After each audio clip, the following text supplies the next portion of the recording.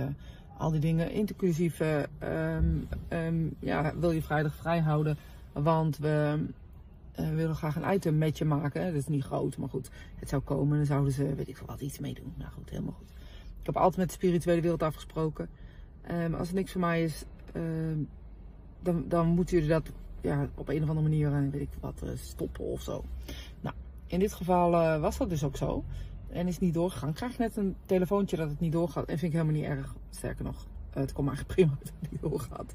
Maar de reden is dat ze zeiden dat het nog dat mediumschap kwakzalverij is. En dat vind ik toch niet leuk om te horen, merk ik. Ehm, want daar raak je mijn mediumschap hard op een unieke wijze, laat ik het maar even zo zeggen. Dat ik dan denk, we zijn zo hard aan het werk. Ik heb zoveel collega's die zo strijden voor mediumschap.